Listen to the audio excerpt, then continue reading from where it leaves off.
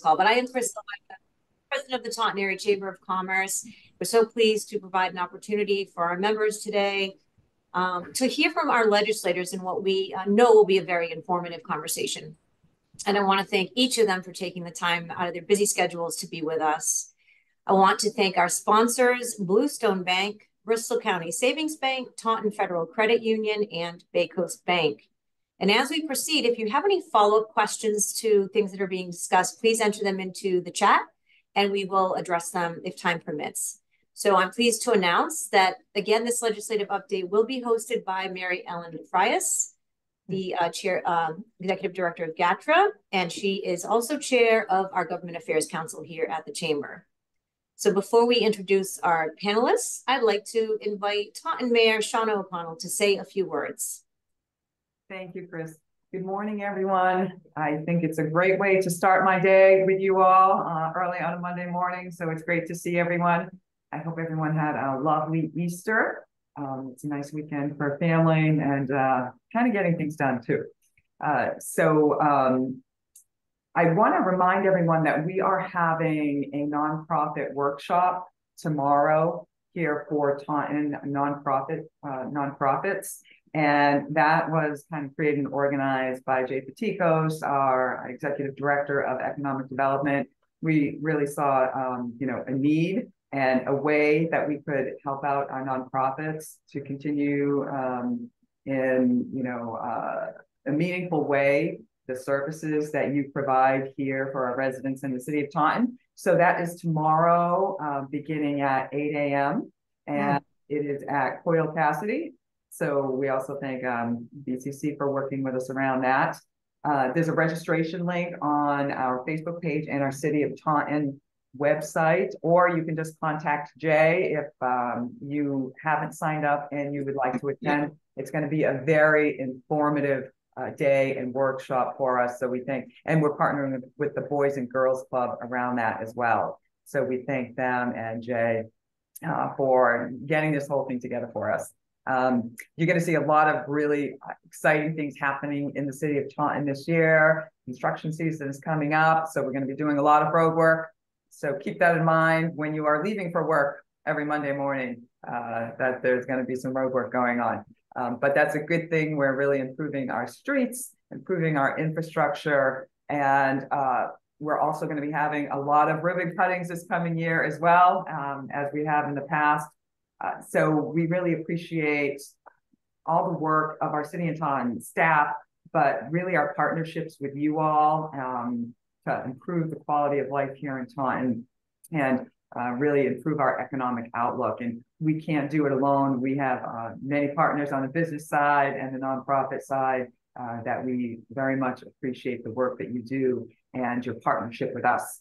Uh, we also very much appreciate our legislative delegation and all of the work that they do. So uh, them taking the time out of their busy days today to be with us, uh, we are very thankful for. And uh, I know we're running a few minutes late, so I will hand it right back over to Chris and wish everyone a wonderful week.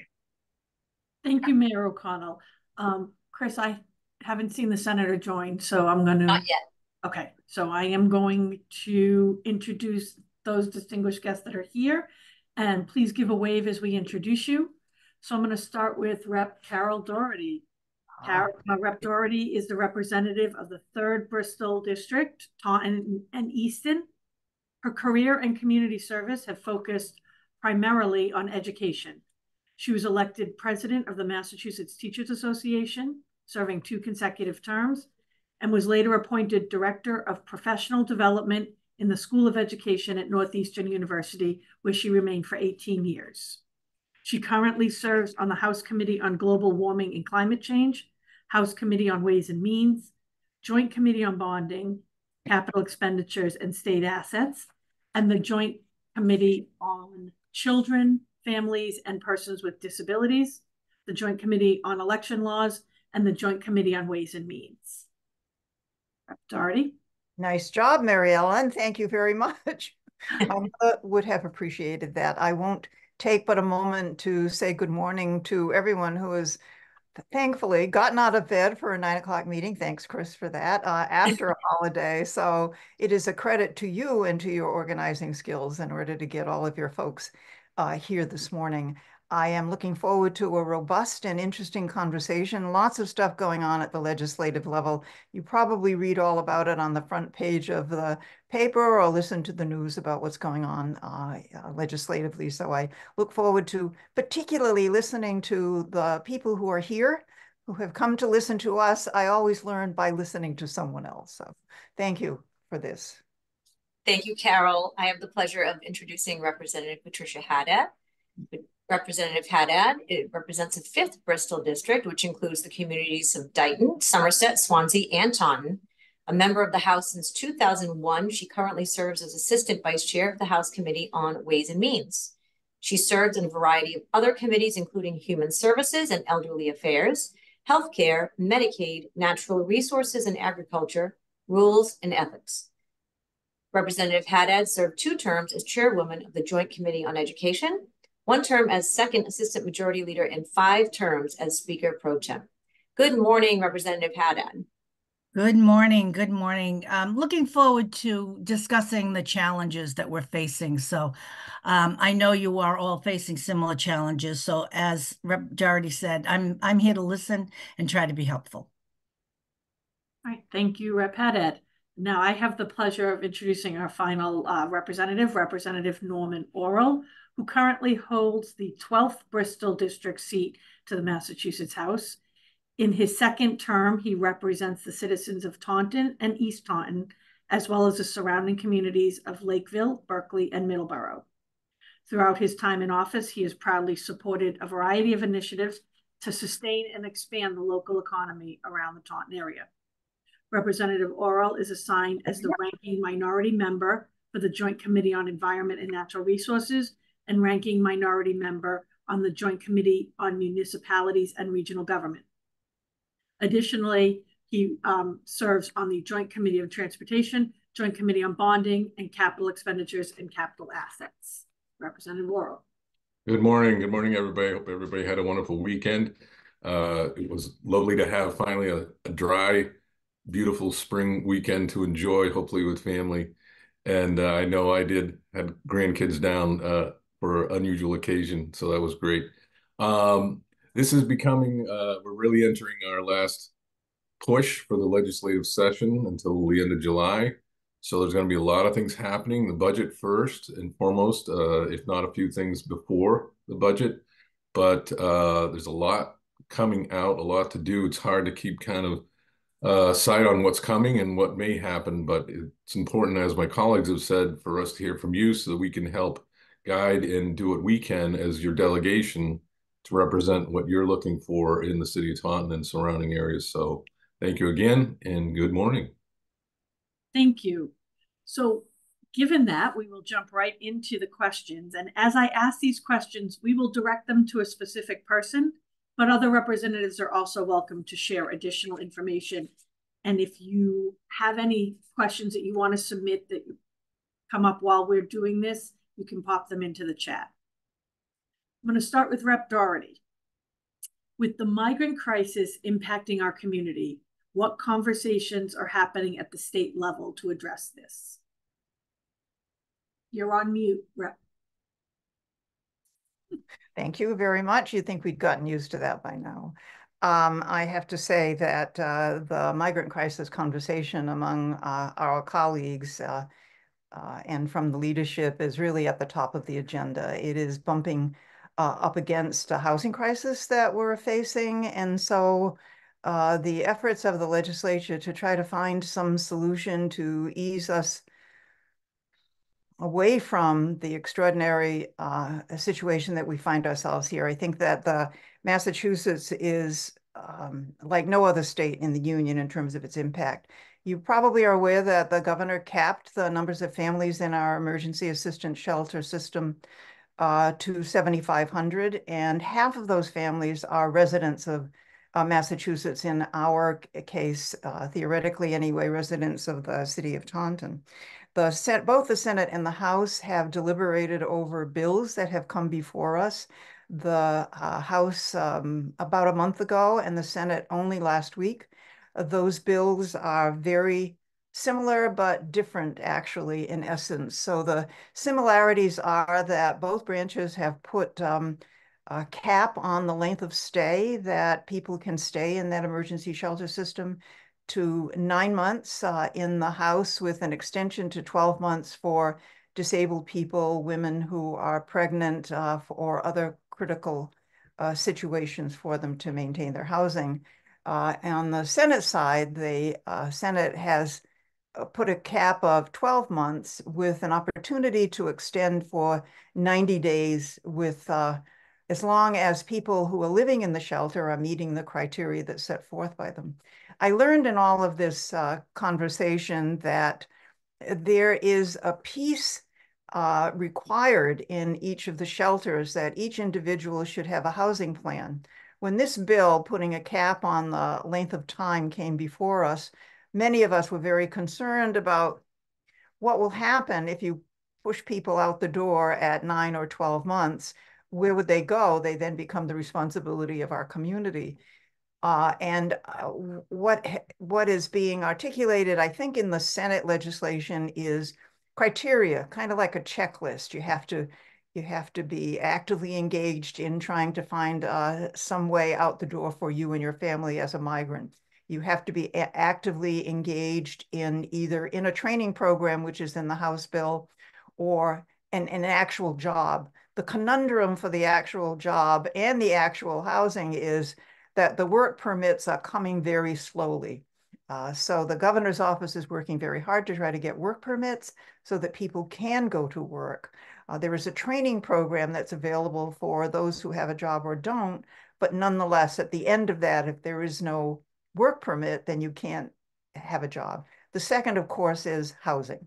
Uh, how do we how do we push people out the door if there is no nowhere for them to go? And so we are working uh, to that end. And the biggest piece that's of greatest concern, I think, to many of our residents is that in these supplement and these uh, issues have come forward in a supplemental budget, uh, having to appropriate money to uh, uh, keep resources available to the end of this fiscal year. And in the Senate bill, uh, they are appropriating or suggesting appropriating funds out of our supplemental money that will keep us through, or at least partially through the 2025 year. So it is, uh, right now, both those bills are in a conference committee. Uh, they'll work out those nuances and distinctions, and they will come to us. And they need to come to us relatively quickly because the resources are running out to help to support the shelter. So theoretically, putting a cap on the length of stay will save save money. Uh, from in the mind of some, it will deter people from coming but I think that uh, the bottom line is that the Congress, in a broad context, uh, i.e., the United States, needs to act uh, in order to set up some guardrails for the influx of migrants that are coming into the country. Uh, they need to weigh, uh, loosen the uh, pathway to getting a work permit, and they need to provide resources to the state in order for us to be able to continue forward if we must do that tough situation.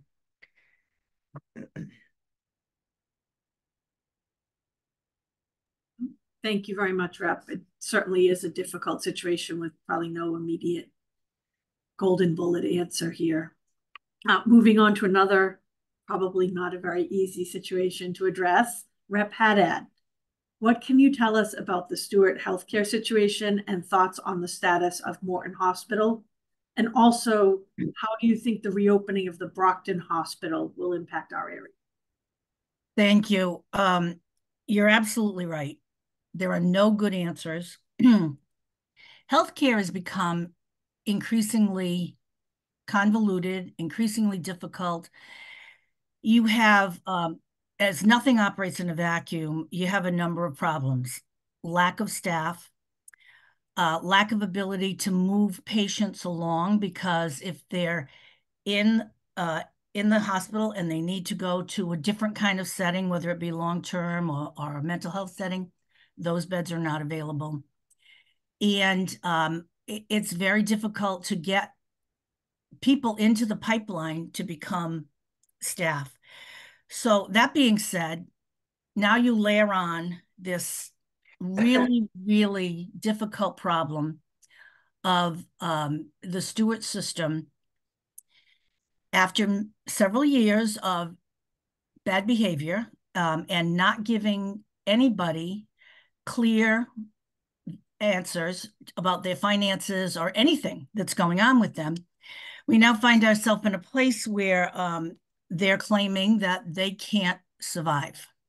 So on Tuesday, I think uh, many of you might have seen that their answer to this, to get more money into their system, is to sell off um, their physician groups to another giant conglomerate, another group that is uh, for profit. And we have serious concerns of whether this uh, reaches the level of being a monopoly.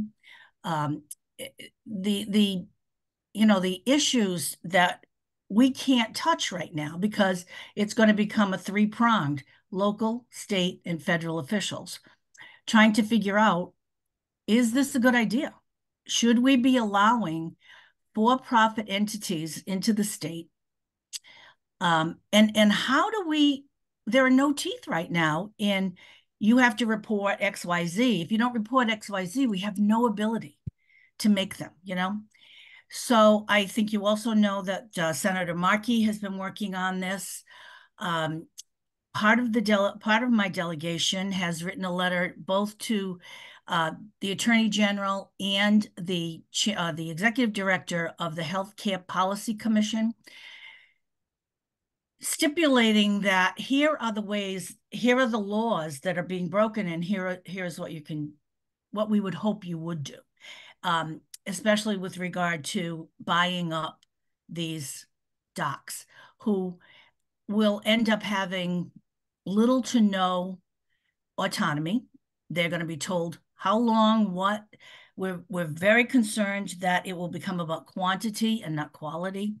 And in the meantime, in, in my district in particular, I have two Steward hospitals who I will have said repeatedly, I will say once again, corporate does not deserve the kind of commitment and the kind of um, goodwill that is coming from the staff members who are completely disregarding other things so that they can um, deliver quality care.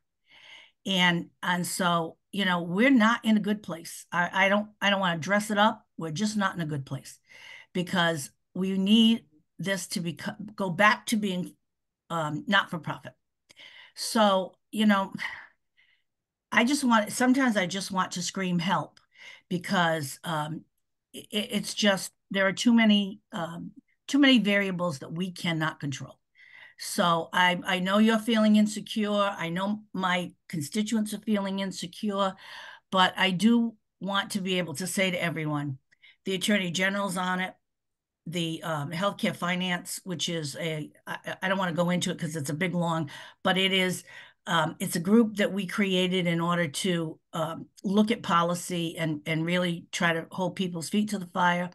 The federal government and, of course, um, the state government. So, no good answers, and you know, very very difficult situation. But I want to once again congratulate both Morton and St. Anne's, the people, because the people who are uh, staffing that hospital because they're doing yeoman's work trying to make it work. Thank you for that, Rep. Haddad. And, and you're right. It's uh, we have to be grateful for the people who do show up for work every day. Um, all right, just so you don't think we're letting him off the hook, we saved uh, one a topic near and dear to my heart for Rep. Orrall. Um, what is the status of South Coast Rail, and when can we take a train from Taunton? Yes, thank you. I, I do want to say first, though, the, the first two issues really, and even South Coast Rail, the, these are issues that are affecting all of us. The, the, the migrant situation, I'll just throw in the other two cents, which is it's really impacting budgets. It's really I cannot stress that enough. So, you know, think about it. We're using one-time monies right now to fill gaps. That money's not going to be there next year. We got major issues to look at in this next year's budget. And as the speakers indicated, well, if we're going to continue at this pace, then where are we going to cut? Because the revenues are not coming in. So the extremely impactful that issue is. So I, you know, kudos to you to bring it up, and also the steward. The steward affects all of us. I know I have doctors in the physicians group that is now looking at being sold. What does that mean? Where do they go? Uh, you know, the whole buildings that they're in, and it's it's a complete mess and we're doing our best to stay on top of it, but there's so many moving pieces.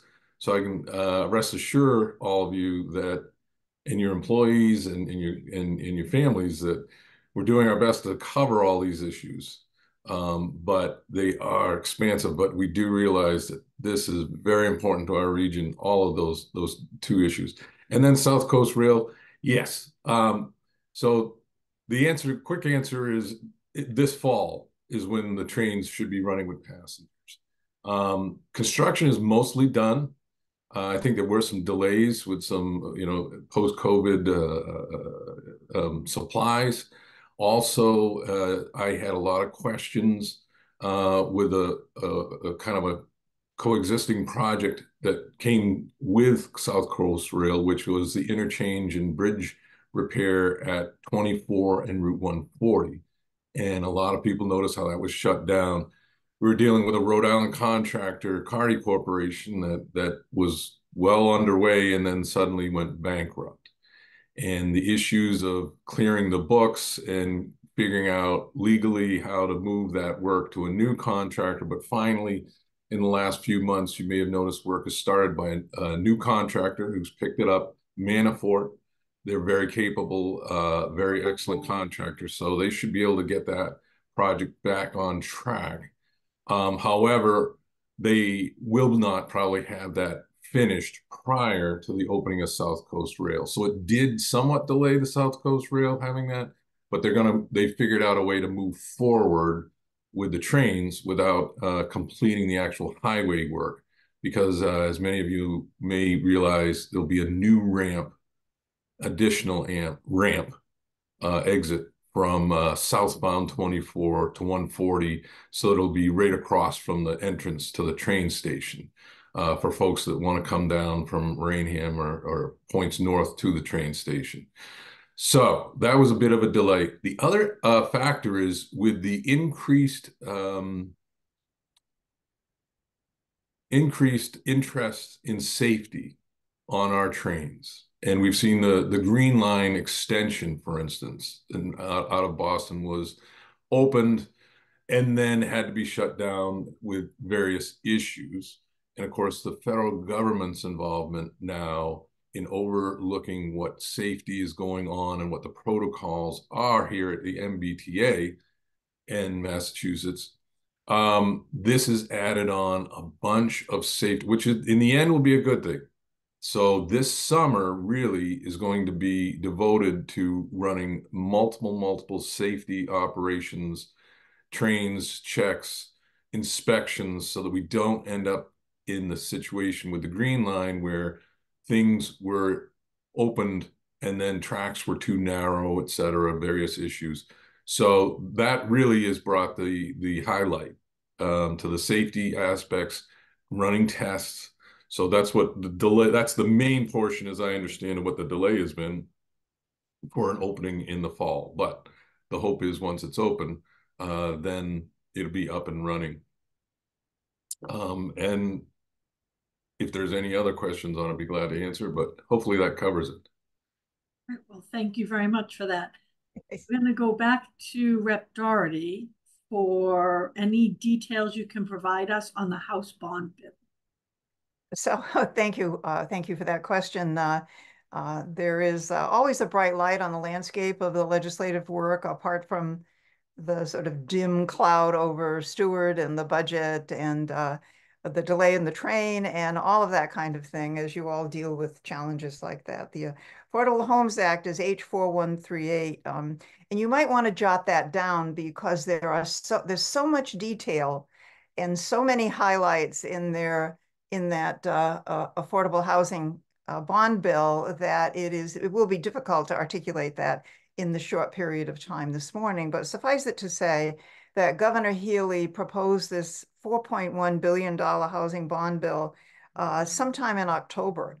And it is uh, just now making it, perking its way up to the legislature and into the Bonding and Capital Expenditure Committee so that we can uh, act on it so that it can go forward to the um, uh, to the legislature for a vote and then over to the Senate, to the House and then over to the Senate. Uh, as you have heard, uh, particularly when we're talking about the migrant crisis, the migrant crisis and the housing crisis have bumped up against one another. And so it just makes things much more difficult than, uh, than they would under ordinary circumstances. We have an astounding housing shortage with only, um, with a shortage of about 200,000 units of housing across the Commonwealth. Here in Taunton, and uh, uh, if uh, Jay Pateakos was or is on here, uh, he can talk about the yeoman's effort that our Department of Economic Development is making to construct uh, anew or to renovate existing facilities, particularly around the downtown area to uh, improve the numbers of units that are available. So just walk through downtown and you can see the work, uh, that work in progress but I think that in the overall, there's no single solution to the challenges that we face uh, that we face in housing. The only opportunity for real progress is this comprehensive investment and improve, improved utilization of all the resources that are at our disposal. This bill, the Affordable Housing Act, lays out a comprehensive approach to both its proposed funding levels and its policies around housing construction. Um, and just by way of history, if I can take a few moments, the acute housing shortage uh, that we're facing now uh, is been in the making, as I understand it, for some many years, with decreased federal and state investment in housing construction and renovation. Uh, that ongoing disinvestment will not be fully addressed with only incremental adjustments. The Affordable Housing Act proposes an ambitious as I said, 4.1 billion, just think of those zeros, 4.1 billion dollars in capital funding over a five-year period of time. With funding distributed over a wide range of resources to support not only affordable housing, uh, but mixed income housing development as well. Uh, so within this region, within our own community, there's not only a need for more housing that's affordable to low income families, uh, uh, but for housing that is affordable to a broader range of residents. And so the governor's proposal supports mixed income housing. It all it, it and that if you hear the term mixed income housing, it goes hand in hand with the same term workforce housing. So that middle income range of people uh, will be able to take advantage once uh, once going forward. So um, so that that's the focus. Uh, housing, as I said, is really a challenge. There are six pages that I have in front of me here of bullet points uh, that I'm sure you don't want me to read, uh, that uh, point out all of the aspects of the affordable housing, uh, the Affordable Housing Act that the governor has proposed. Uh, so, and, and again, it's a bonding bill, so it really depends on the um, ability, the opportunity for people to take advantage of what is in that bill so that the uh, the administration can get those bonds in order to provide the resources to the developers and others uh, in order to uh, construct those housing. Um, one of the things, or two of the things that are of our particular import is, uh, I, I think that our public housing units, and there are some, I don't know, 3,100 public housing units across the Commonwealth, uh, need to be, there needs to be resources to renovate some of these very old facilities. And so there is a big piece in this Affordable Housing Act that is devoted to uh, renovation and improvement and repair to that housing stock, which is very much needed.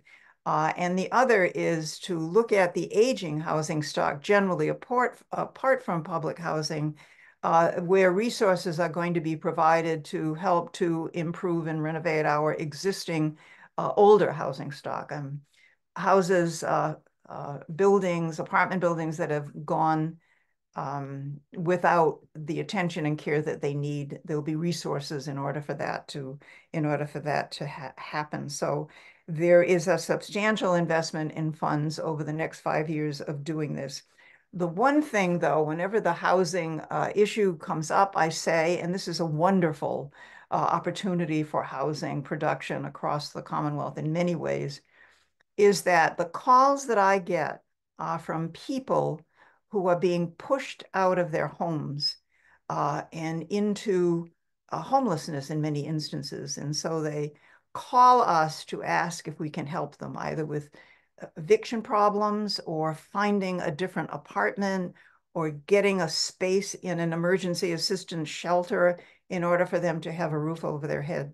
And this bill at the moment, and there are many other pieces of legislation that address the issue of homelessness. And I always say, whenever I have an opportunity to Secretary Augustus, this is wonderful, uh, it, much needed, but it doesn't answer my immediate need to respond to someone who calls and says, I have no home. I'm living in the back seat of my car, and we know that that exists. And so and, and that's immediate and emergency housing. Uh, and there just are not enough units to help to support people in that regard. So takes a long time for a brand new uh, piece of property to be developed from conception to implementation. And it's not, in my opinion, at this point, meeting the need of our homeless population. Thank, Thank you. Thank you for that. And I'm going to open up this last uh, question to all three uh, representatives, building on what Rep. Doherty was, was discussing. Affordable housing is also an issue that impacts your ability as a community to grow and support your workforce. We're all looking for employees, and this is an ongoing concern. Uh, what can you share with us about efforts uh, with regards to supporting and growing workforce? Well, I'll start since I unmuted myself. Um, again, nothing operates in a vacuum. Um, I think you've all been watching what's happening in Milton with um, a suburb trying not to participate in having some um, affordable housing. Um, I think we're going to see that more and more often. And uh, if any of you live in my suburbs, please get involved in the process so that uh, we can make sure that there are not uh, zoning ish zoning uh, bylaws created that will stop a city or town from having affordable housing. Um, I'll just give you an. Um, not only are we worried about our over 55s, but we're worried about our young people who can't afford to stay in our communities, who can't afford to get apartments. And, you know, it always used to be a joke about living in your parents' basement. It's not a joke anymore. It is where we have had to um, make sure that our young people stay and have a place to live. So that sort of leads into the question of workforce development. Um, you know, we have uh, we have BCC on the line here. There are a lot of training programs, um, not just at BCC, uh, and and many of these groups try to work very closely with employers to make sure that the uh, skills that are necessary in that particular uh, business are available. And I know BCC does a really um, a re has a really strong uh, sense that this is what we should be doing. We shouldn't just be training people. We should for whatever. We need to train people for the jobs that people are looking for. So, um, you know, I, I just think it's it all becomes part of the the problem with housing. Um, you know, we all see, a, well, not we all, but I saw one of my um, children, who's not a child anymore, go to the Boston area for a job um, some people, are, some are seeing their children go to the Providence area. If we want to keep our businesses um, vibrant, we need to have housing that people can afford. And that includes, you know, the kid that comes out of high school, uh, high school with a trade who can't afford to live other than in their parents' basement. So, um, you know, it's available, but there are so many challenges to getting to those trainings. And I'll just put in a plug for um, Reconnect. We're, you know, we're retraining a lot of people in our community colleges free of charge. And um, there are there are a group of people who are very committed to honing their skills or redeveloping skills. So I, I hope that answered some of your question. Thank you for that, Rep. Haddad. I don't know if uh, either Rep. Orrall or Yeah. Barry I- want to weigh in. I'll jump in a little bit on that. I, I think, you know, the, it's a, it's a broad, we're, we're- we've all taken a broad look at how to in- increase the, the, the workforce. And, you know, this is where we do see, well, if we, we need to find a way to benefit from the migrant situation, uh, getting work permits to them, getting, uh, them out in the workforce, uh, that's for some jobs that they may be able to do. Um, but we all know there's a variety of jobs we're trying to fill here, a lot of them more technical. It's wonderful that we've uh, all been invested into Bristol Plymouth and increasing uh, the ability there to train up trades uh, with the new school. So we're excited about this region benefiting from a up-to-date school with new technology and just really helping get uh, more of our kids involved. And not only just through the training, but also really kind of a, change in thought over the last 10 years of not everyone has to go to college um, to be successful and we need folks focused on the trades they're good jobs and and some of them can even get uh, started towards that further technical but it's a great way to start and then really feeling filling a need that we that we have and then I'd move it on to the transportation aspect. One of the benefits of having a network of transportation, and certainly at Gatra, you're aware of this, to get folks to the jobs back and forth. If we have uh, more ease of routes, we're hoping that the South Coast Rail will open up those passageways in a, in a, with a major route, and then we're going to need secondary routes with Gatra and so forth to get people maybe closer from uh, Cotley Junction in East Taunton up to downtown or wherever. Um, but having that ability to move people cheaply, uh, get them off the roads, uh, but get them to the jobs that we have here.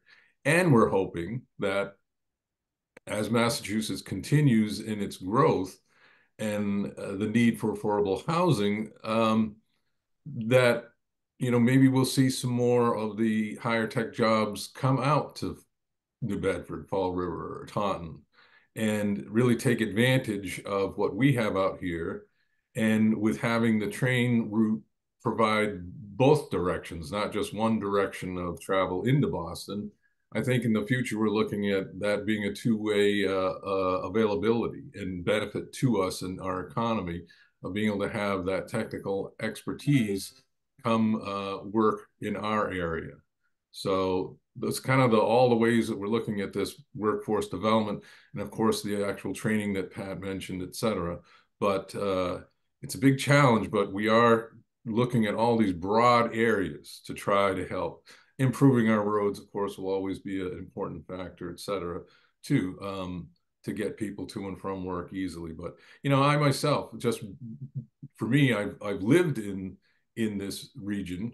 Um, but for almost 30 years of my career went to either Providence or Boston because that's where the jobs were for my line of civil engineering. So, like I say, we're hoping either to improve the transportation there or in some cases, maybe we can get the jobs in the business to move here um, if there's better way for for them to get here. So that would be my addition to that.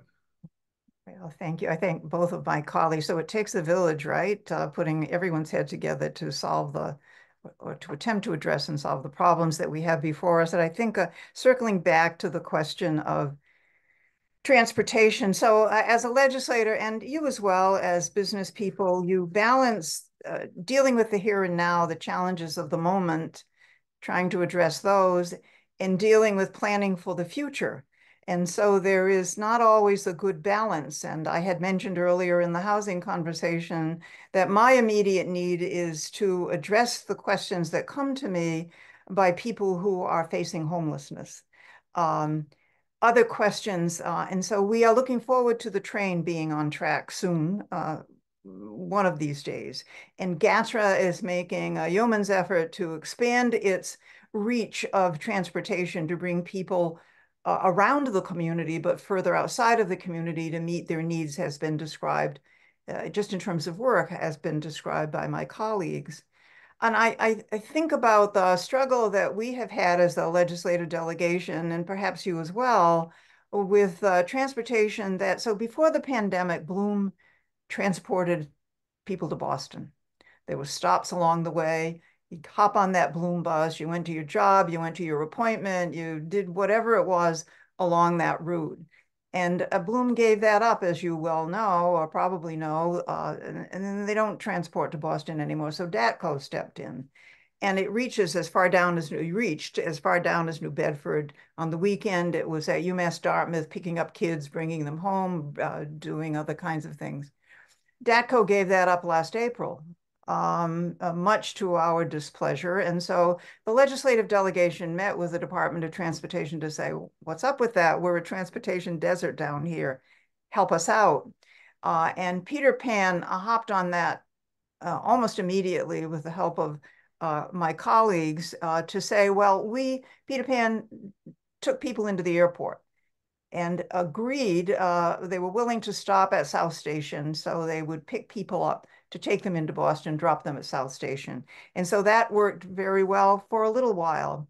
But they were stopping at the Galleria Mall location, and that, of course, is not available any longer. And so they moved that transportation to East Bridgewater. So somebody from our community, surrounding communities, have to go to East Bridgewater in order to pick up a bus to go to Boston. And uh, again, like much else, every time I have an opportunity to raise that question about what are you doing about bringing that transportation route back to our community and further south, uh, uh, southeast as well. And um, recently, someone, uh, one of the bureaucrats from the Department of Transportation, approached me and said, "Oh, you know, I heard what you said at that Ways and Means hearing on transportation." We're working on it. And what they are trying to do is to find a location in the community that's large enough to park cars at no cost, where a bus can go into that area and do the turnaround, pick up people, and of course, transport them into Boston. So I raise all of that as number one, it's a problem for, you know, most of us here might hop in our car and go to Boston if we need to do that. Many people in our community, I mean, you know, we're a healthcare uh, desert, we're a maternity desert, we're a pediatric desert. So people need that transportation to get from here to wherever they're going to seek that care. So if you know of anyone who has property in one of these larger spaces where their stores might be closed, that the bus company can use uh, to do the turnaround and pick up people, that would be an extraordinary, extraordinary contribution to the people here in our community.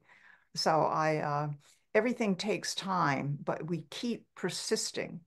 And uh, in some way, that problem will be solved, that challenge will be solved. And it's not going to be solved only with the train, but it will be in need, we need that bus transportation. And so think about where in our community we might find a place big enough for that bus to turn around and for cars to park. Um, Costa Park as well. So thank you.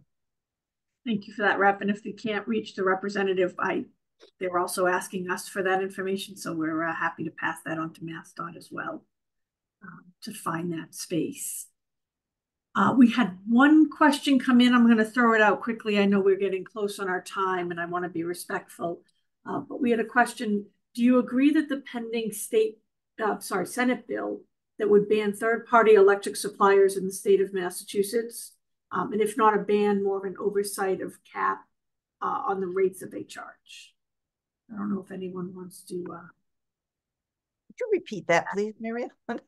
Somebody was asked, uh, do we agree? Do you agree with the pending Senate bill that would ban third-party electric suppliers in the state?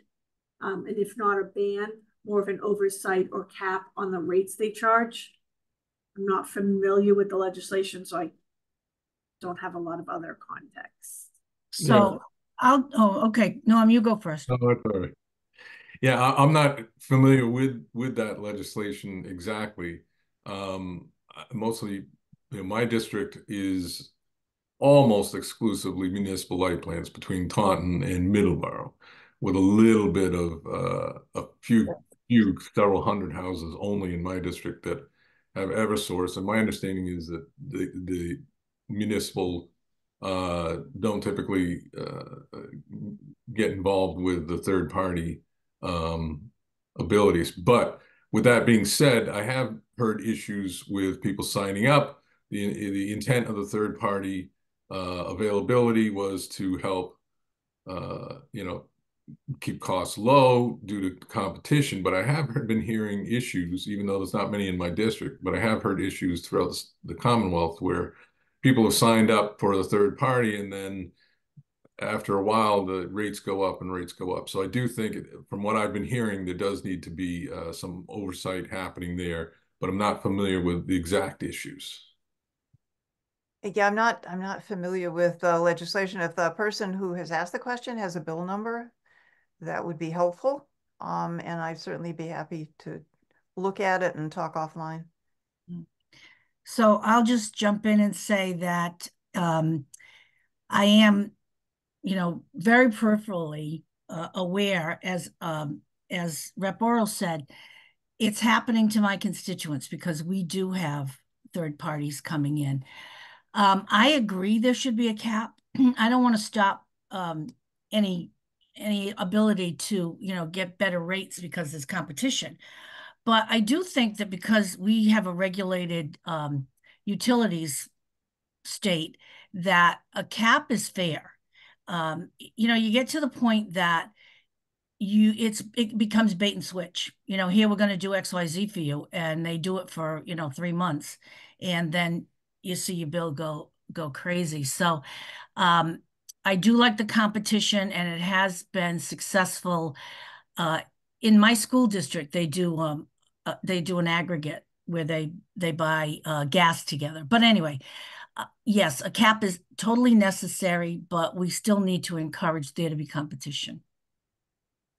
All right. Well, thank you all very much. I we're approaching the end of our time. I would like to just give each of the panelists a chance to have a few closing remarks, and we'll go backwards and start with Rep. Orrall this time. Okay, well, I really appreciate the opportunity. Um, look forward to the spring. Like I say, a big push for the end of the legislative session. So we'll do our best, maybe come back in May and have some more to talk about at the uh, annual meeting or whenever that would be. Um, but we'll keep you posted and please uh, call us anytime. We're always available. So have a great week. Thank you very much, Rep. Haddad. Um, thank you. And I always appreciate the opportunity to um, speak with people. I want to renew my ask in the middle of the other question. As business leaders, you are very respected. Your opinions matter. And so I would say if you are involved in the suburbs, um, my district or, or anywhere else, uh, we we really need the suburbs to understand that this is this is uh, it's, an opportunity. Um, it's not. It should not be a burden if you do it correctly. If you uh, if you get a developer that you trust, but we really need people not to allow uh, elitist bylaws to keep out people and our own people, our own young people from being able to live in, in a community. So if you are in any of those, please get involved in the process so that we can be sure that um, there are opportunities for affordable housing outside of the cities. Thank you. All right. And finally, Rep. Doherty. Well, thank you very much. Um, I always enjoy these opportunities. And so while we have addressed the very broad issues uh, this morning, Steward and housing and uh, other such things, uh, what would be maybe the next time would be uh, important to uh, to us, I believe all of us, I can speak for my colleagues, I guess, um, is to hear from hear from the business people about issues that you are confronting as uh, business people. Uh, there's lots of legislation floating around out there, and uh, occasionally we get messages from people asking about this legislation or that legislation or a position on whatever that might be, but to hear from you, to have the questions come from you uh, around those things that affect you deeply, uh, in addition to those broad issues would be really very helpful. So thank you. Thank you, Chris. And to the chamber, you're doing a marvelous job. You have a huge membership, which is a credit to you, I have to say. Uh, and I always enjoy these occasions and others on the ground and live when we have an opportunity to do that. So thank you. Thank you so much, uh, Representative Doherty, Representative Haddad, Representative Orrall, our distinguished Mayor Shaunna O'Connell, and thank you, Mary Ellen, for being a, a great uh, host for us today. We really appreciate that. Thank you all for taking the time on this Monday morning to join us. Uh, I will do one plug. Obviously, we have a lot of events going on all the time. But for this group in particular, our next quarterly Q&A will be with the president of the Massachusetts Taxpayers Foundation, and he will talk about state finances, House amendments, and demographic demographic trends for the state and our area, which I think will be very interesting as well. So please join us for that. That's April 23rd. If you're able to join, go on the website and register. And um, thank you all for being here this morning. Have a great rest of your day and week. Thank you.